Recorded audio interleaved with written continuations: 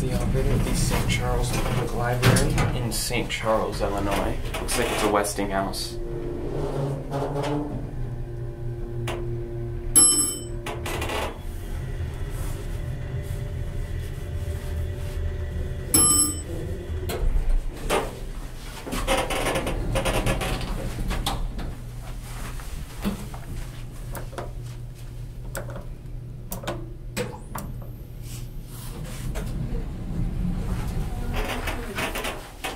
Like they have a nice and organized box. Local